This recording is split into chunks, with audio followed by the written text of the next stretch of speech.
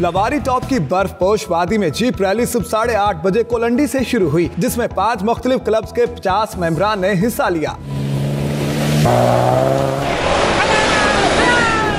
इस दौरान दो रोज से जारी बर्फबारी ने जीप रैली के मज़े को दो बाला कर दिया। बर्फबारी ने रैली का ट्रैक मुश्किल बनाते हुए मजीद दिलचस्प बना दिया। रैली पाँच घंटे जारी रहने के बाद खत्म हो गई, जिसमें पहली, दूसरी और तीसरी पोजीशन बिल तरतीब Syed Ejaz Islamabad club, Taimur Khan frontier four by four club और शहजादा रजा चित्राल क्लब ने हासिल की।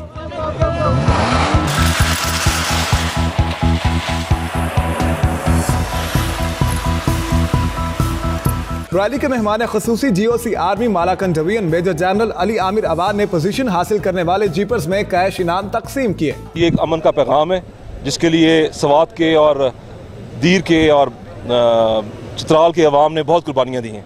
इस खूबसूरत तकरीब को चार चाँद उस वक्त लगे जब वादी कैलाश के खातन और मर्दों ने रिवायती डांस किया।